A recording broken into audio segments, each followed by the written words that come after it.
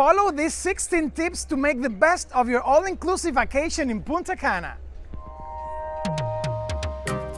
Number one, book your transportation before arriving in the country. Avoid confusion and ripoffs and book your airport shuttle online before your trip. There are tons of trustworthy companies that provide transportation to and from the airport.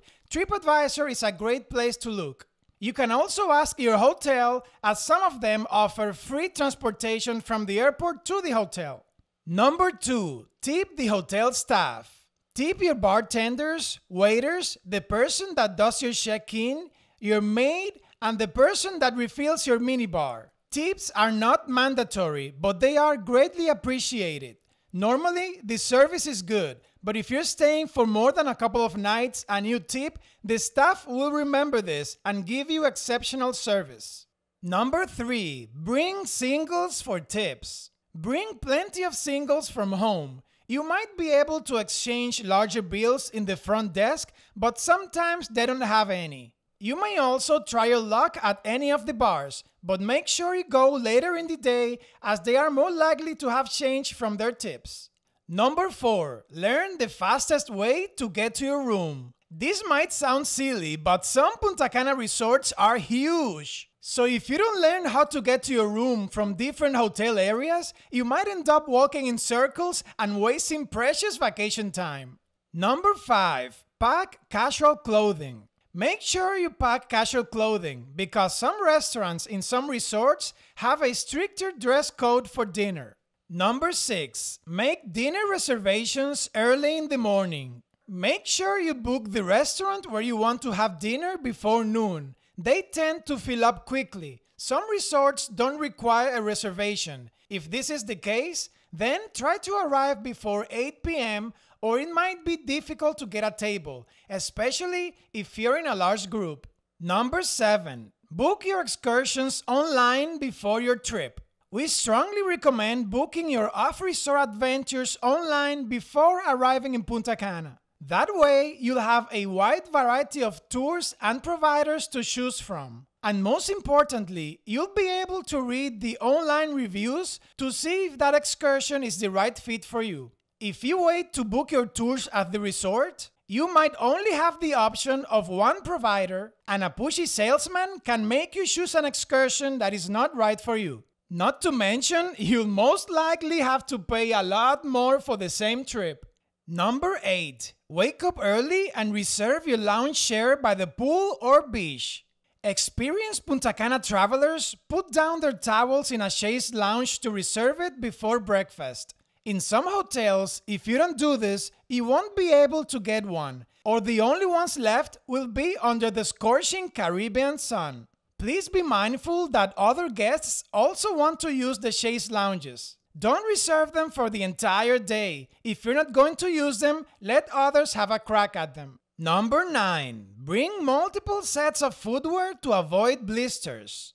When you think of Punta Cana vacations, walking too much may not even cross your mind, but depending on the size of your resort, you may find yourself walking quite a bit during your stay. We recommend bringing two different kinds of footwear for use during the day to avoid blisters on your feet. For example, a pair of flip flops and a pair of Crocs. When you feel tenderness between your toes after walking too much on flip flops, switch to your Crocs, which have different points of contact on your feet. Another example would be bringing flip flops and slipper sandals. Switch back and forth between the two to avoid or delay any blisters. Also, bring comfortable shoes to wear at night. Depending on your resort's dressing code for a la carte restaurants, you may need to bring closed toe shoes, but keep in mind that after dinner, you'll probably walk around the resort to watch the night show, go dancing, etc.